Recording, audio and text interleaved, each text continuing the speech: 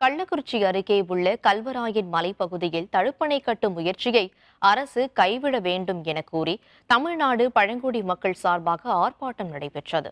கள்ளக்குறிச்சி மாவட்ட மக்களின் நலன் கருதி தண்ணீரை கோமுகி அணைக்கு கொண்டு செல்ல வழிவகை செய்ய வேண்டும் எனவும் கோமுகி அணையை முழு அளவீடு செய்து ஆக்கிரமிப்புகளை அகற்ற வேண்டும் எனவும் முழக்கங்கள் எழுப்பப்பட்டன.